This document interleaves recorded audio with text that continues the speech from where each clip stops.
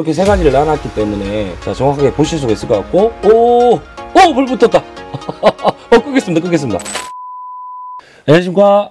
공급을 받았습니다 그린솔 방청 윤활제를 기억하시나요? 국내 한국하우튼 주식회사에서 출시를 해서 가격 대비 정말 다방면으로 사용이 가능한 방청 윤활제를 제가 한번 소개시켜 드린 적이 있었는데요. 이 방청 윤활제를 사용하시는 분들한테 정말 높은 만족도를 주었고 이미 누적 판매도 10만 개를 돌파했다고 하거든요. 그럼에도 불구하고 사용해 보신 분들 중에서 이렇게 윤활 방청제를 넘어서서 스프레이 방식의 그리스 타입도 나왔으면 좋겠다라는 말씀들이 분들이 많으셨는데요. 그래서 오늘은 그린솔에서 출시한 스프레이 방식의 그리스 제품이 새롭게 출시가 되어서 직접 한번 사용돼보고 어떠한 특징들이 있는지 또 한번 살펴보는 시간을 가져볼까 하거든요. 그린솔 투명 다목적 그리스라는 모델로 출시를 했고요. 용량은 지금 360ml 스프레이형 방식의 투명 그리스입니다. 평소에 좀 괜찮은 스프레이형 그리스를 찾고 계시는 분들은 오늘도 저 영상 끝까지 시청해 주시면 좋을 것 같고요. 바로 한번 살펴보도록 하겠습니다. 자, 첫 번째 특징은 기존에 나왔던 윤활 방청제와 마찬가지로 이렇게 노즐이 지금 철 재질로 되어 있어서 혹시나 떨어뜨리거나 하더라도 부러질 우려가 없다라는 게 첫 번째고요. 그리고 두 번째는 뿌리는 그리스라면 점도가 높고 분사되는 압이 아무래도 약해질 건데도 반해서 이렇게 지금 기존 스프레이 윤활 방청제처럼 360도 분사가 된다가 첫 번째 특징입니다. 그리고 만약에 내가 좁은 곳이나 집중 분사를 해야 될 때는 지금 이렇게 철 노즐을 펼쳐서 사용을 하면 되고요. 이렇게. 그리고 만약에 내가 넓게 도포를 하고 싶다고 하실 경우에는 이렇게 철 노즐을 아래로 내룬 다음에 이렇게 하면은 분사되는 입자가 넓고 골고루 분포되는 방식으로 사용을 할 수가 있거든요. 지금도 제가 흔들지 않고 그냥 바로 사용을 했는데도 불구하고 나가는 분사 압이 정말 센 것 같았고요. 기존의 윤활 방청제 같은 경우도 많은 분들께서 사용해 보시고 나서 가장 많이 말씀해 주신 부분이 기존에 사용했던 다른 윤활 방청제들보다 나가는 분사 압이 정말로 세서 시원해서 좋더라 라는 말씀들이 많으셨는데 이번에 출시한 이 스프레이 방식의 그리스 또한 분사 압이 정말 센 것 같고요. 그 두 번째 특징은 정말 신기하게도 이렇게 스프레이형 그리스인데도 불구하고 색깔이 투명색이었습니다. 제가 시중에 가장 많이 판매되는 스프레이 방식의 그리스를 가져왔는데 대부분 한번 뿌려보면 자 이렇게. 색깔이 일단은 갈색을 띠는 방식이 대부분입니다. 근데 지금 그린솔에서 출시한 스프레이형 구리스 같은 경우는 자 보십시오 자 이렇게. 투명색입니다 투명색. 그래서 내가 지금 만약에 작업하고자 하는 곳에 분포를 하더라도 이렇게 깨끗한 색을 띠기 때문에 이게 더러워졌는지 혹은 이물질이 묻었는지 섞였는지를 육안으로 확인하기가 너무 용이하겠더라고요. 그리스라고 하면은 색깔이 보통 갈색을 띠는 게 대부분인데 이렇게 투명색이라는 게 정말 좀 신기한 것 같았고요. 그리고 지금 똑같이 분포를 하더라도 기존 갈색 타입의 스프레이형 그리스 같은 경우는 넓게 분 분사되는 게 조금 적은 반면에 이렇게 지금 그린솔 같은 경우는 이렇게 넓게 분포가 되게끔 나가서 그리스의 역할로 윤활을 해준다고 생각을 하시면 좋고요. 그리고 이제 세 번째 특징은 기존에 나와 있던 스프레이형 그리스 타입보다 점도가 높고 열에 강하다라는 부분인데요. 이 부분은 제가 한번 테스트를 해봤는데 영상을 한번 보시면 자 이제 제가 이렇게 종류가 다른 그리스 세 가지를 뿌려놨고 한번 부르쳐 보겠습니다. 자 이렇게 골고루 열을 가하면 지금 보이시죠? 일단 타 브랜드의 그리스 같은 경우 바로 이렇게 흘러내리는 모습이고 또 다른 브랜드의 그리스 같은 경우도 흘러내리고 지금 스프레이 그리스 같은 경우는 이렇게 흘러내리지 않고 그대로 있는 모습을 볼 수가 있는데 이렇게 지금 점도가 높은 게 첫 번째 특징입니다. 자 제가 이렇게 시중에 많이 판매되는 두 가지 브랜드의 스프레이형 그리스랑 그리고 그린솔 그리스를 똑같이 도포를 시켜서 대각선으로 철판을 기울이면서 그리고 토치로 살짝 살짝씩 열을 가해 가면서 미끄러지는 정도를 봤을 때 그린솔 그리스 자체가 점도가 높은 게 확실히 표현이 되더라고요. 그래서 이렇게 점도가 높은 부분도 특징이 될 것 같고 그리고 이제 제가 마지막으로 한 가지 더 테스트를 했는 부분은 이 스프레이형 그리스의 가장 취약한 부분이 열에 약하다는 부분이거든요. 그래서 어느 정도의 고열만 발생을 해버리면 이 그리스 자체의 성능을 잃어버리기 때문에 이 스프레이형 그리스를 쓰시는 분들이 조금 불만족스러운 부분이 많으셨는데 그린솔 그리스 같은 경우는 고열에 강하다고 해서 그 부분도 제가 테스트를 한번 해봤거든요. 한번 보시면요.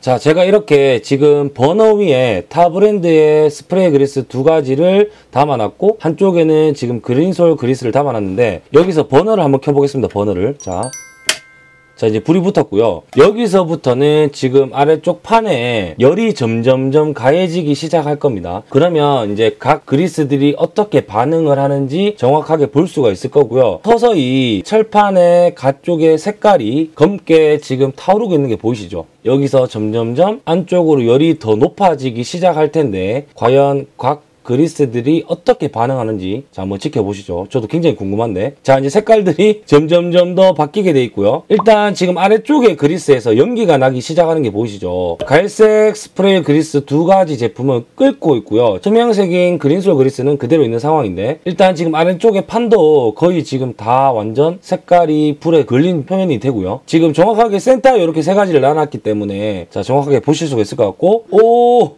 오! 불 붙었다! 어, 끄겠습니다, 끄겠습니다. 이렇게 불이 붙었는데도 불구하고 그린솔 그리스는 아직까지 불도 안 붙고 끓지도 않거든요. 와, 이게 진짜 핵심 포인트인 것 같아요. 이렇게 제가 버너에 똑같이 철판을 올려놓고요. 그리고 가운데 세 가지 그리스들을 모아놓고 열이 점점 점점점 가해졌을 때 타 브랜드의 스프레이형 그리스 두 가지 제품은 점점 끓으면서 묽어지면서 불이 붙어 버렸습니다. 그런 반면에 그린솔 그리스 같은 경우는 지금 끝까지 묽어지지도 않았고 불이 붙지도 않는 모습이었거든요. 그래서 이렇게 진짜로 사용을 했을 때 어느 정도의 고열까지는 충분히 버티고 그리스 그 자체로의 형태로 있어준다라는 게 또 특징이 될 것 같더라고요. 그리고 이 그린솔 스프레이 그리스의 마지막 특징은 이렇게 지금 도포를 시키면 보세요. 이렇게 뭔가 좀 묽게 나가는 것 같죠. 입자가 넓고 묽게 나가는 것 같고 그리고 시중에 나와 있는 일반 스프레이형 그리스 같은 경우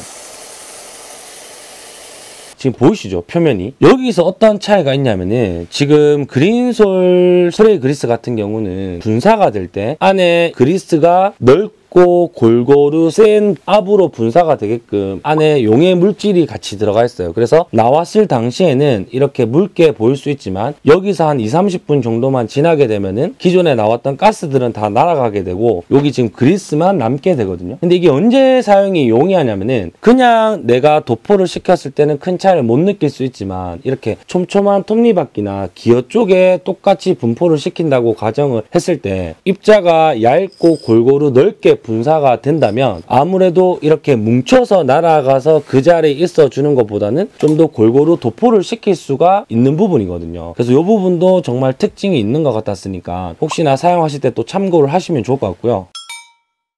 자 이렇게 해서 오늘은 그린솔에서 새롭게 출시한 스프레이형 그리스를 직접 한번 사용을 해봤습니다. 대충 좀 느낌이 오시죠? 일단 분사 압력이 월등하게 높았는 부분 그리고 스프레이라는 점도가 높은 방식인데도 불구하고 360도 회전이 되면서 분사가 되는 모습 그리고 점도가 높았는 부분 그리고 고열에도 강했는 부분 이런 특징들이 있었습니다. 이 정도가 된다면 굳이 지금 고체형 그리스를 사용할 이유가 없지 않을 수도 있을까라는 생각이 들었고요. 물론 정말 고열이나 정말 점도가 높은 특정한 상황에서는 고체형 그리스를 써야 하는 게 당연하겠지만 기본적으로 우리 일상생활 속에서 사용되어지는 그리스가 도포되어야 할 부분에는 충분히 사용할 만한 메리트가 있다고 생각이 들었습니다. 그리고 이 그리스라는 제품 자체가 기존에 제가 한번 보여드렸던 방청윤활제랑의 차이가 확실하게 있는 부분은요. 이 방청윤활제는 어떻게 보면 좀 액체나 기체에 가깝다고 생각을 하시면 좋고요. 그리고 이 그리스 같은 경우는 경우는 말 그대로 좀 고체에 가까우면서 점도가 높으면서 내가 만약에 이 윤활제 역할을 시켜주고 싶은 부분에 똑같이 도포를 하더라도 그리스가 훨씬 더 오래 그 자리에서 머물면서 윤활 역할을 시켜줍니다. 그래서 이 방청 윤활제는 어떻게 보면은 좀 다기능으로 쓸 수 있는 반면에 이 그리스라는 제품은 내가 만약에 사용하고자 하는 용도에 정확하게 사용했을 때는 방청 윤활제보다는 훨씬 더 좋은 성능을 가지게 된다고 생각을 하시면 좋겠더라고요. 그리고 지금 녹방지, 뭐 금속 보호, 방청, 구동소음 제거 등등 기존의 방청 윤활제 역할들도 담고 있으니까 혹시나 평소에 좀 사용하기 편리한 스프레이형 그리스를 찾으시는 분들께 오늘 영상이 좀 도움이 됐으면 좋겠고요. 진짜 이렇게 국내 연구진들이 모여서 연구하고 개발하고 생산했는데 반해 금액이 너무 정직하게 나온 것 같고요. 그리고 오늘 영상을 또 보시고 한번 사용해보고 싶다고 하시는 분들을 위해서 100분께나 사용해볼 수 있는 기회를 드린 다고 하십니다. 그래서 늘 하셨듯이 영상 하단에 링크를 터치하시거나 클릭하시고요. 집 주소, 성함, 전화번호를 남겨주시면 제가 추첨을 통해서 100분께 사용해 볼 수 있는 기회를 드릴 테니까 또 많이들 참여를 해주셨으면 좋겠고 하여튼 오늘도 이렇게 저 영상 끝까지 시청해 주셔서 너무 감사하고 다음 편에 또 좋은 영상으로 찾아뵙는 공구브라더스가 되겠습니다. 감사합니다.